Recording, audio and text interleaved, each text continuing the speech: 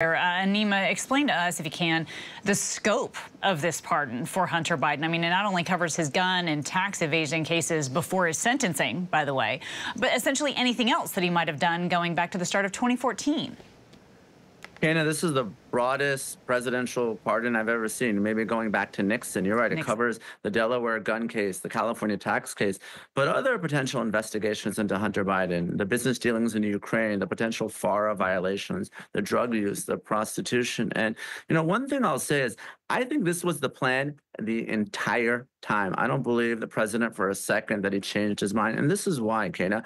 No lawyer, and Hunter Biden is a lawyer, Joe Biden is a lawyer, goes and gives up a diversion deal in federal court. That's a gift. No lawyer pleads guilty to all the counts in an indictment without a plea agreement on the day of trial. They negotiate something, a reduction on the charges, a reduced sentence. That leads me to believe that the entire time Hunter Biden had a pardon lined up. Otherwise, he would not have acted the way he did in his criminal cases. Oh, really? So are, are, you suggesting that perhaps when we heard from the president over and over and over again that he would not pardon his son, are you suggesting perhaps that wasn't exactly truthful?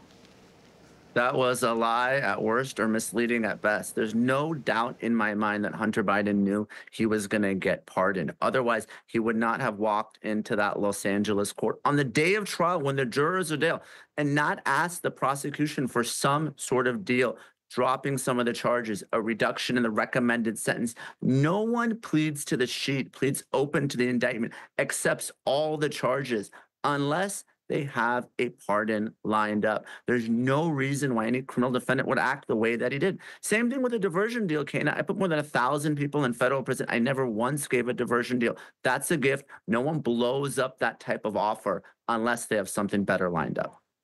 Oh, that is a really uh, interesting thought there, Neama. Uh, Neama, thank you for being here with us today, and Alex, you as well.